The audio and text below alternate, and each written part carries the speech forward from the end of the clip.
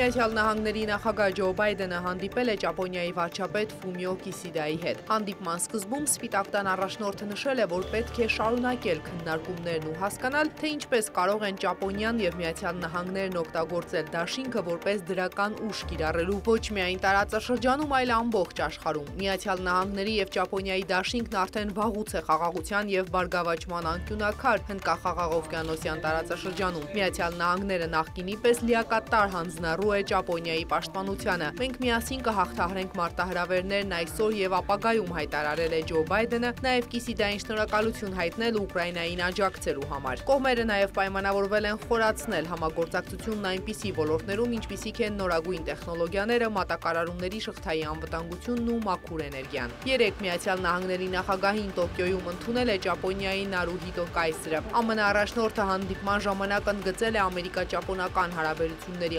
ամրությունն ու վերահաստատել կապը ասիական կարևոր դաշնակցի հետ։ Ուկրաինայի նախագահը հայտարարել է, որ շաբաթվա ընթացքում առավելագույն դիվանագիտական գործունեություն է ծավալելու։ Ուկրաինացիներին ուղված իր ուղերձում Զելենսկին նշել է, որ կմիանա Դավոսի ֆորումի քննարկումներին, առաջ տանելով իր երկրի համար կարևոր որոշումներ։ Ուկրաինայի նախագահը հայտնել է նաև, որ խոսել է Մեծ Բրիտանիայի վարչապետի հետ եւ նպատակ ունի ավելացնելու Ուկրաինայից գյուղատնտեսական ապրանքների արտահանումը։ Երեք ավելի վաղ Կիևում Վոլոդիմիր Զելենսկին հանդիպել էր Լեհաստանի նախագահի հետ Անջեյ Դուդան ելույթ ունենալով տալով Ուկրաինայի խորհրդարանում կոչ էր արել Եվրամիությանը թույլ տալ Ուկրաինային միանալ դաշինքին, նաև հորդորել ապահովել Կիևի համար հասանելիություն Ռուսաստանի սառեցված ակտիվներին։ Ուկրաինայի եւ Լեհաստանի նախագահները նաև պայմանավորվել են համատեղ մաքսային հսկողություն եւ միասնական երկաթուղային ընկերություն ստեղծելու մասին, մարդկանց եւ ապրանքների տեղաշարժը հեշտացնելու եւ Ուկրաինայի տնտեսության արտահանման ներուժը մեծացնելու համար։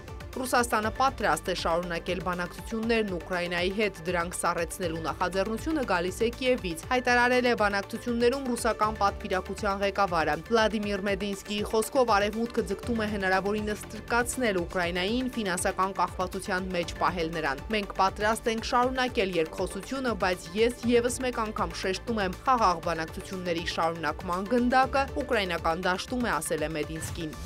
փախստականների եւ ներքին տեղահանվածների թիվը, որոնք առաջին անգամ լքել են իրենց տները զինված հակամարտությունների, բռնությունների եւ հալածանքների պատճառով, գերազանցել է 100 միլիոնը։ ՄԱԿ-ի փախստականների հարցերով Գերագույն հանձնակատարի գրասենյակի տվյալն է։ 2021 թվականի վերջին աշխարհում հարկադիր տեղահանված մարդկանց թիվը հասել էր 90 միլիոնի։ Բռնության նոր ալիքների կամ ձգձգված հակամարտությունների պատճառով այնպիսի երկրներում, ինչպիսիք են Աֆղանստանը, Բուրկինա Ֆասոն, Կոնգոյի դեմոկրատական հանրապետությունը, Հանրապետությունը, Մյանման, Նիգերիան եւ Եթովպիան։ Բացի այդ, Ուկրաինայի իրադարձությունները 2022 թվականին հանգեցրել են 8 միլիոն մարդու տեղաշարժի այդ երկրի ներսում, ավելի քան 6 միլիոն մարդ դարձել է փախստական։